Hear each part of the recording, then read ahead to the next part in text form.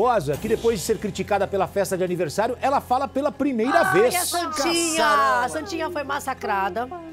E aí ela fez aquela festa que ela fez lá no final de semana. Você que falou que ia ter a festa de três dias, você que anunciou antes aqui, você é bocuda. E ela, ela- agora ela resolveu falar sobre a festa em plena pandemia, porque ela tá sendo super xingada nas redes sociais, né? O pessoal tá falando que não é momento de fazer festa.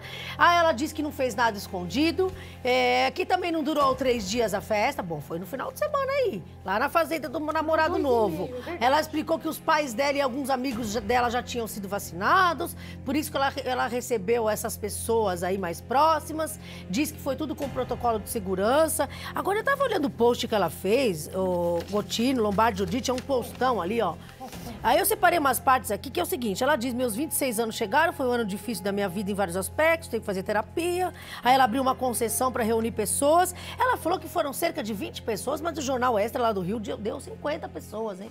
Gente, 20, Acho que 20 a Marina- pessoas é só a equipe dela, gente. É claro, Marina não pode falar. Bom, deixa quieto.